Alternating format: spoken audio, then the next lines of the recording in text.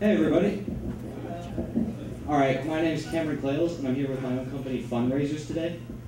Uh, the idea behind my company is to help out any kind of like athletics teams or extracurricular activities that are just losing funding in light of the budget cuts.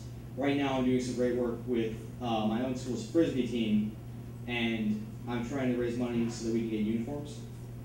And uh, now, how my company works is I want to create unique fundraising outlets that are not like your everyday bake sale. How many of you have ever taken part in a bake sale? Or like bought something, even just seen one on the corner? Aaron has. Yeah, sorry, Aaron.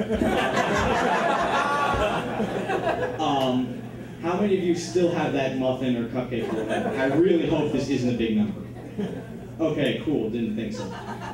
So, the idea behind my venture is that instead of having something where you just eat it and it's gone, you have something to remind yourself every day, hey, I helped out this person, or hey, I helped out this team. And so I really just wanted to get like a little keepsake, something people could always have with them, or depending on how organized you are with your pens, uh, a week. So, I, I know that's for me. Um, so what I did is I went online and I talked to some friends. I kind of just trying to figure out what's something somebody would use every day, and I decided on pens. And I also like pens because they're cheap and it, it's like they're just nice to look at. So um, I went online, I talked to friends, and I found out what is the a reasonable price for a pen. I came up with a dollar, and um, then I talked to make sure everybody would buy them for a dollar. So I talked to friends, excuse me, teachers, uh, even my neighbors, and um, it looked good. So I took the information to Startup Corps. Uh, I took out a uh, actually pretty generous loan. Thank you, Matt and Christian.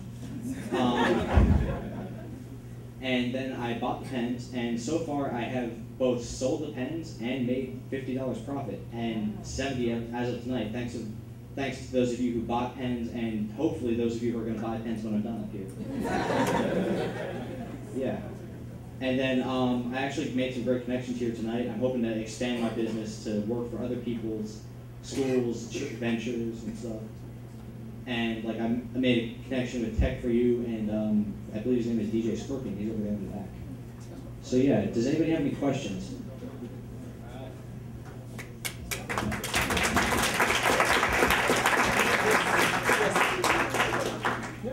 Are you looking into doing anything of selling pens? Uh, yeah. Um, for those of you who didn't hear, you asked me if I want to do anything besides pens. I'm actually looking at a whole lot of other things that people might like. I'm looking at um, seeing some people wear like these wristbands for uh, breast cancer awareness. I'm gonna do that, but cater to people's own specific needs.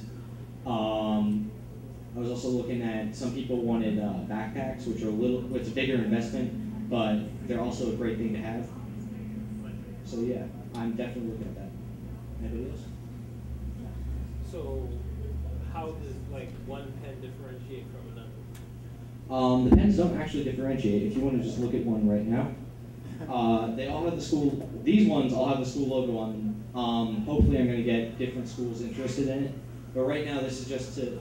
This was my um, like this, the frisbee team of first people I worked with, and so I wanted to cater to their needs specifically. Way to uh, put the product in the customer's hands. Yeah, Yeah.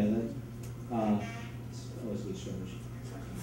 Um, One more question. Yeah. Do- do- Are you aware of any competitors in this space? Um, competitors, I hope not.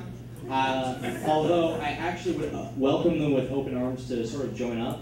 Um, so if any of you are involved in similar ventures, uh, my name is Cameron Klales. If you want to just t- talk to me after the show, um, that'd be great. I definitely. It is a show. All right, thank you.